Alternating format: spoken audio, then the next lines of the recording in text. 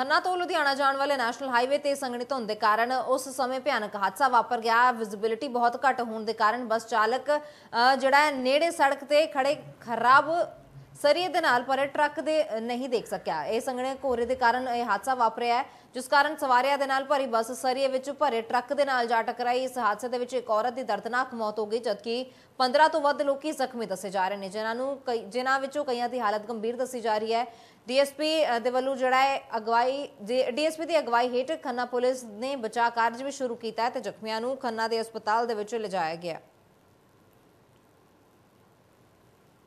ਖੰਨਾ ਦੇ ਵਿੱਚ ਸੰਘਣੇ ਘੋਰੇ ਕਾਰਨ ਇਹ ਭਿਆਨਕ ਹਾਦਸਾ ਵਾਪਰ ਗਿਆ ਜਦੋਂ ਕਿ ਬੱਸ ਚਾਲਕ ਨੂੰ ਅ, ਸਰੀਏ ਦੇ ਨਾਲ ਭਰਿਆ ਹੋਇਆ ਟਰੱਕ ਨਹੀਂ ਦਿਖਾਈ ਦਿੱਤਾ ਤੇ ਬੱਸ ਜਿਹੜੀ ਸੀ ਇਸ ਟਰੱਕ ਦੇ ਵਿੱਚ ਜਾ ਵੱਜੀ। ਇਸ ਹਾਦਸੇ ਦੇ ਵਿੱਚ ਇੱਕ ਔਰਤ ਦੀ ਦਰਦਨਾਕ ਮੌਤ ਹੋਈ ਹੈ।